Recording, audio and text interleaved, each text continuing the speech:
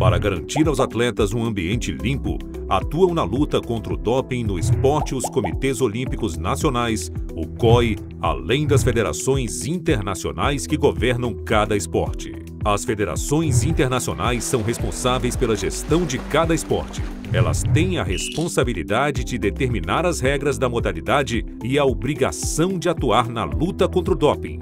Entre suas atribuições estão também desenvolver um plano de testes, selecionar atletas para um grupo-alvo de testes, analisar solicitações AUTs, autorizações de uso terapêutico, realizar a gestão de resultados de um teste positivo e julgar as violações de regra antidoping. O COI é o responsável pelas mesmas ações de combate ao doping nos Jogos Olímpicos. O COB atua na educação e prevenção ao doping no movimento olímpico brasileiro, em parceria com a ABCD.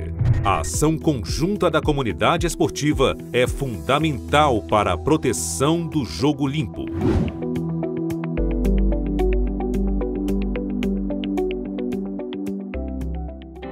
Você acabou de assistir o episódio Comunidade Antidoping Movimento Esportivo.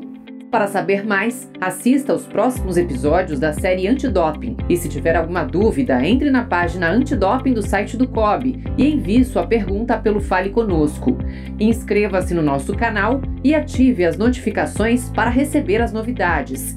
Junte-se a nós na luta contra o doping no esporte.